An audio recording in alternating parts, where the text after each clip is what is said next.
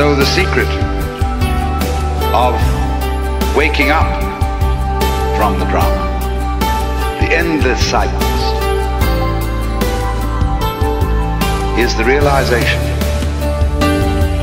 that the only time that there is is the present. And when you become awake to that,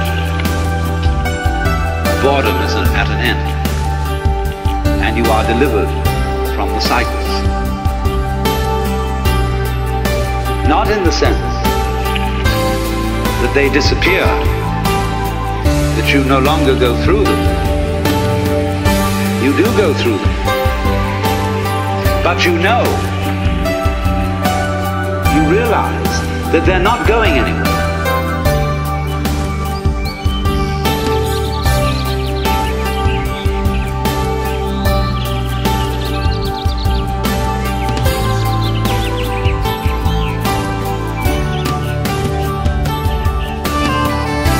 Now then, supposing you liken the rhythm of these cycles to music.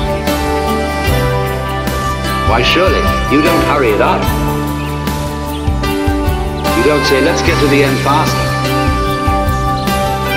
You know how to listen to music only when you slow down time and sit back and let that be. And so, the same way, you can see every little detail of life in a new way. Oh my, look at that.